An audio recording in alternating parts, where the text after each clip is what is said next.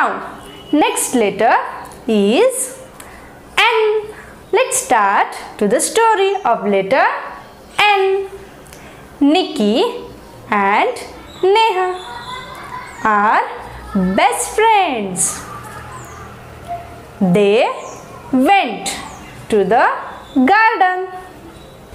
They saw a nest on the top of tree and they said nest na na nest na na nest.